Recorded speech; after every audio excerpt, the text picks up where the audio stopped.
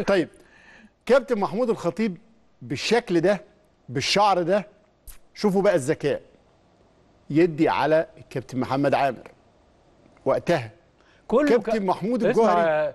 الشعر ده آه ها؟ موضة العصر من ظهر اللعيبة كان صعب اللي إذا كنتش حافظهم قوي آه. تعرفهم من بعض بالظبط شوفوا بقى ذكاء الكابتن محمود الجوهري عليه رحمة الله إزاي في بطولة 81 الأهلي بيلعب مع نازيمبي الجابوني إياب دور الثمانية وعارف إنه الفريق الجابوني مركز على نمرة 10 ده سبب حتى إنه الكابتن الخطيب لما اتكلم إنه في مفارقات قدرية غريبة.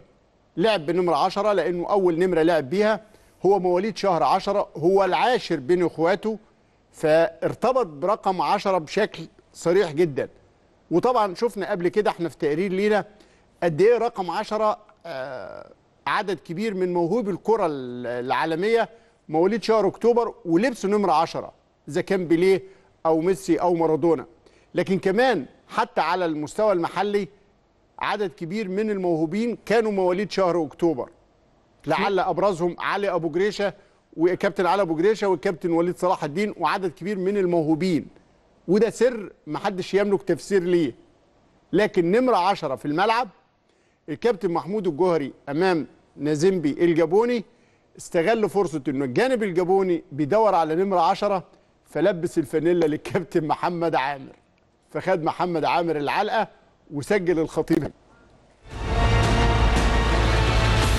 زمان كنا مربيين شعرنا وشعرنا كده بكنيش والشوكة والكلام ده كله. فكان في بعض الملامح بينه وبين الخطيب مع الشعر ال- ال- الكنيش دوت. فطبعا كان الكابتن جوهري آه، اقترح علينا إن إحنا نغير الفانيلات. هو أنا كنت بلبس دايما رقم 12 الخطيب بيلبس 10 فغيرنا الفانيلات. أنا لبست 10 وهو لبس 12 كنت أنا الدوبلير بتاع الخطيب. فخدت علقة يعني علقة محترمة جدا من ال... من واحد كان نازل عشان يمسك رقم 10 هو طبعا مفكر ان أنا الخطيب وده يعني قدرنا إن إحنا نفسح المجال للخطيب إن هو يتحرك. بحرية.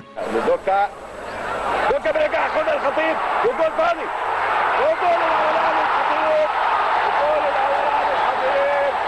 بعد 31 دقيقة. غلطه من الجول مصطفى الخطيب. لمصطفى عبده.